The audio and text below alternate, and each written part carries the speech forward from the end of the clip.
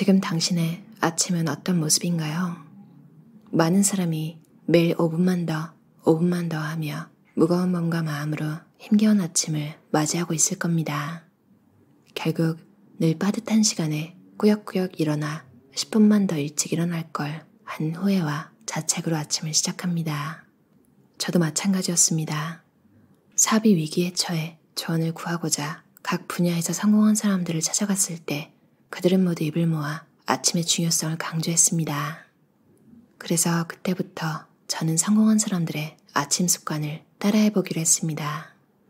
놀랍게도 그때부터 인생이 크게 바뀌었습니다. 꼬리에 꼬리를 물며 악순환처럼 흘러가던 하루하루들이 언제 그랬냐는 듯 술술 풀려나갔습니다. 머릿속으로 그리던 일들도 조금씩 현실로 이루어지기 시작했습니다. 내가 계획한 대로 삶을 꾸려갈 수 있게 되자 매일 조금씩 자존감이 회복되었고 이전에 없던 무한한 자신감이 생겼습니다. 지금은 이보다 더 좋을 수 없을 만큼 즐겁고 두근거리는 나날을 보내고 있습니다. 모두 아침 덕분이라고 해도 과언이 아닙니다. 오늘 어떻게 사느냐에 따라 내일이 변하고 나아가 인생이 변합니다. 할 수 있는 것부터 하나하나 시도하다 보면 당신의 하루가 당신의 인생이 바뀔 수 있습니다. 기분 좋은 하루를 보내는 모습을 짧게 떠올리며 오늘 하루 다잘될 거라고 마음속으로 확신한다. 상상의 힘은 실로 대단하다.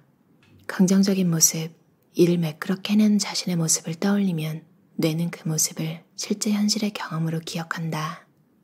꾸준히 좋은 성적을 내는 운동선수들도 전문가의 지도 아래 매일 반복해서 이미지 트레이닝 훈련을 한다. 머피의 법칙과 반대되는 개념으로 셀리의 법칙이 있다. 머피의 법칙이 항상 바라지 않는 방향으로 일이 진행되는 것을 말한다면 셀리의 법칙은 자신이 바라는 대로 일이 흘러간다라는 개념이다. 두 법칙 중 어떤 것을 믿는 사람이 더 긍정적인 사고를 하겠는가? 당연히 후자다. 긍정적인 기분으로 시작하는 하루와 떠밀리듯 억지로 시작하는 하루는 그 과정도 결과도 확연히 다를 수밖에 없다. 행복한 기운을 몰고 다니는 뮤지션 퍼렐 윌리엄스는 당신이 늘 감사한다면 주변의 모든 것에서 행복을 찾을 수 있을 것이다. 라고 말했다. 감사의 방법은 무엇이든 좋다. 가만히 눈을 감고 부모님을 포함해 가족을 떠올리며 감사의 말을 건네는 것도 좋다. 혹은 어제 나에게 안부 전화를 건넨 친구, 친절하게 인사를 건넨 직장 동료 등 내가 겪었던 사소하지만 기분 좋은 일 중 하나를 떠올리며 머릿속으로 그 대상에게 감사의 마음을 전하는 것이다.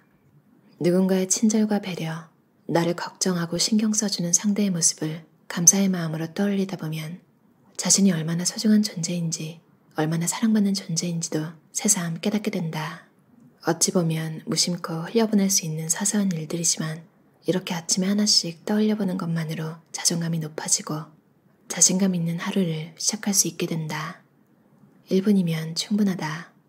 매우 짧은 시간이지만 신기하게도 마음이 편안해지면서 이제껏 느끼지 못했던 새로운 기분으로 하루를 시작하게 된다. 누군가에게 감사하는 마음을 계속해서 느끼다 보면 나 역시 누군가에게 고마운 존재가 되고 싶다는 생각을 하게 된다. 나는 매일 아침 분노의 감정을 떨쳐버리자 라고 선언한다.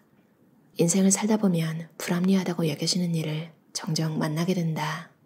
직장 생활에서는 더더욱 그렇다. 내가 지금까지 만나온 인류들은 감정을 조절하는 능력이 뛰어났다. 어떤 불합리한 일을 당해도 어떤 말을 들어도 전혀 화를 내지 않았고 불쾌하다는 기색조차 내비치지 않았다.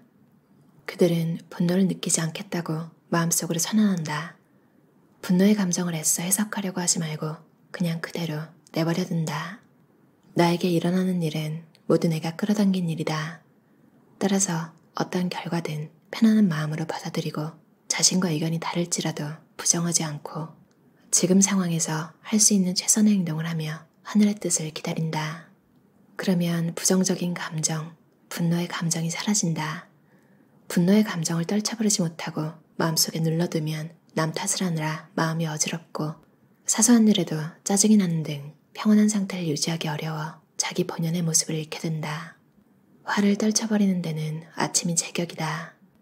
아침 시간에 분노의 감정을 잘 처리하면 하루를 마음 편안히 평소 모습대로 보낼 수 있다. 또 남에게 휘둘리지 않고 오롯이 자신과 업무에만 집중하며 능력의 최대치를 발휘하게 되므로 모든 일이 원하는 대로 매끄럽게 움직인다. 사람은 눈앞에 목표가 있으면 노력하게 된다. 이루고 싶은 목표 10개를 써보자. 목표를 이룬 자신의 모습을 상상하며 실제로 그렇게 되려면 어떤 길을 걸어야 할지, 다시 말해 어떠한 성공 스토리가 필요한지를 생각하고 구체적인 이미지로 떠올려 본다. 머릿속에 존재하는 이상적인 나와 지금의 나를 잇는 계단을 만들어 한 걸음 한 걸음씩 올라간다고 생각하면 된다. 그러면 손이 닿지 않는 그야말로 꿈속 존재였던 이상적인 모습이 실현 가능한 존재로 인식되기 시작한다. 매일 아침 10개의 목표를 소리내어 읽어보자. 사람의 뇌에는 자동차 내비게이션과 같은 기능이 있다. 그것도 성능이 매우 뛰어난 내비게이션이다. 목표를 소리내 읽으면 뇌 속 고성능 내비게이션의 목적지, 즉 이상적인 자신의 모습과 목표가 입력된다. 자동차 내비게이션과 달리 입력 즉시 출발하진 않지만 목표에 도달하는 데 필요한 정보를 뇌가 무의식 중에 수집하게 된다. 소리내 읽음으로써 성장을 위한 최적의 환경을 조성하는 것이다. 나는 예전에 책을 출간한다라는 목표를 세운 적이 있다. 당시 나에게 책을 출간한다는 건 맨몸으로 에베레스트를 오르는 것과 같은 그야말로 꿈 같은 이야기였다. 그래도 나는 책을 쓰고 싶다는 강한 열망을 잡지 않았고, 그로부터 몇 년 뒤 목적지에 도달했다. 목표를 세울 때는 할 수 있다 또는 할 수 없다라는 시점이 아니라 하고 싶은 것, 도전해보고 싶은 것에 초점을 맞춰야 한다. 그래야 자신이 진정으로 원하고 꿈꾸는 자아상을 발견하게 되고 그때 비로소 목표를 달성하는 데 필요한 강한 의욕도 솟구치게 된다. 원하는 내가 되기 위한 출발점으로 10개의 목표를 쓰고 매일 아침 읽어보자. 변화의 골든타임은 매일 아침 찾아온다. 아침에 샤워를 하며 몸과 마음에 약간의 긴장감을 불어넣는다는 직장인이 많다. 처음 1분 동안은 아무것도 하지 말고 하염없이 물줄기를 맞기만 하자. 물줄기를 맞고 있으면 천천히 몸속에 피가 돌기 시작하고 경직된 몸이 풀리면서 굉장히 편안한 상태가 된다. 전날의 나쁜 일, 나쁜 감정이 흘러내리는 물과 함께 다 사라지는 듯한 느낌이 든다. 또 뜨거운 물로 샤워를 하면 자율신경의 교감신경이 자극을 받아 뇌가 각성된다. 매일 아침 5분만 활용해 좋아하는 음악을 듣거나 맛있는 음식을 먹거나 식물을 가꾸는 등 기분을 좋게 하는 행동을 해보자. 사소한 행동이 만들어내는 긍정의 기운으로 내가 깨어나고 활력이 넘치는 하루를 보내게 될 것이다. 남들과 차별화하기 위해서는 나는 무엇을 하지 않을까 라는 전략이 필요하다. 무엇을 하지 않을지가 명확해지면 무엇을 해야 할지가 저절로 보인다. 하루의 목표는 세 가지만 하고 싶은 일 또는 해야 할 일이 산더미 같아도 시간은 유한하기에 하루에 소화할 수 있는 양에는 한계가 있다. 이 한정된 시간 동안 해야 할 일을 착착 마무리하는 나만의 비법이 있다. 그날 달성해야 할 목표 세 가지를 정한다. 거창한 목표보다는 달성 가능한 수준의 목표를 세우는 것이 중요하다. 목표를 정했으면 종이나 노트에 기록하고 마음속으로 오늘 이 세 가지를 꼭 마칠 거야 라고 다짐하자. 사람은 신기하게도 마음속으로 다짐만 해도 힘과 용기가 샘솟는다. 그러면 목표 달성을 위해 해야 할 일들의 윤곽이 대충 잡히고 일의 순서가 보이기 시작한다. 목표를 달성하는데 필요한 정보가 저절로 눈에 들어오는 것이다. 목표를 세우고 다짐하면 필요한 정보가 눈과 귀에 계속 들어온다. 결과적으로 이 정보의 기초에 행동하기만 하면 되는 상황이 자연스럽게 만들어진다. 다시 말해, 목표를 선언한 순간 이미 반은 달성한 것이나 마찬가지라고 할 수 있다. 나머지는 착실한 결과물을 만들어가면 된다. 세 가지 목표를 정하는 건 빠르면 빠를수록 좋다. 목표 달성을 위해 오늘 하루를 어떻게 보낼지 시간 계획을 세워야 하기 때문이다. 모든 시간 계획은 예상 마무리 시간보다 약간씩 앞당겨 세우는 것이 좋다. 언제 돌발 상황이 벌어져 시간에 쫓기게 될지 모르기 때문이다. 아침마다 세 가지 목표를 세우고 그 목표를 꼭 달성하도록 하자. 할 일 목록은 눈앞에 두고 시작하라. 일 잘하는 사람은 그날 해야 할 일을 명확히 정한 뒤 업무에 착수한다.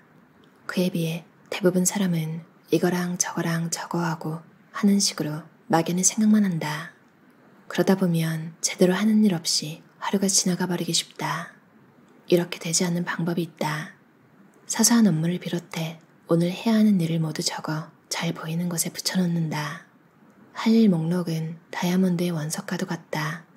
목록에 적힌 일들을 실천하다 보면 여러 가지 새로운 비즈니스가 생겨나기도 하고 참신한 상품 아이디어가 떠오르기도 하는 등 많은 도움이 된다. 아이디어가 아무리 참신하고 좋다고 하더라도 잊어버리면 아무 의미가 없다. 이런 불상사가 생기지 않도록 잘 보이는 메모판에 붙여두는 습관이 필요하다.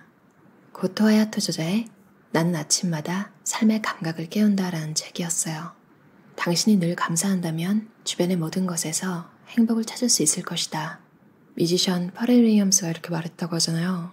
시리나 구글, 뭐 아마존, 알렉사 이런 거에다가 행복에 관한 음악을 틀어달라고 하면 꼭 파렐 윌리엄스 해피라는 노래가 나오더라고요. 그 문장을 읽을 때 이게 생각이 났어요. 와, 꼭 머피의 법칙이라는 게 약간 안될 거다. 이런 거잖아요. 내가 원하는 방향으로 안될 거다. 미국의 항공 엔지니어 머피가 충격 완화 장치 실험이 실패로 끝나고 나서 한 말이래요. 그 잘못될 가능성이 있는 건 항상 잘못된다. 그러니까 긍정 확언이 있는 반면에 이거는 또 부정 확언이 될 수도 있겠죠. 그러니까 정말로 뭔가가 잘못 만들어졌는데 그게 눈에 보여서 아 예감이 되는 그런 것도 있겠지만 그냥 그냥 내 기분이 그래서 그러니까 아니면 내가 항상 부정적이라서 그러니까 잘 될 수 있는 일도 내가 자꾸 안 될 거라고 생각하면 안 되는 부분만 보게 되는 것 같더라고요. 반면에 잘 될 거라고 생각하면 어떻게든 될 것 같은 그런 부분을 더 찾게 되고 잘 될 확률 1%라도 좋은 사건이 이제 계속되면 셀레의 법칙이 되는 거죠.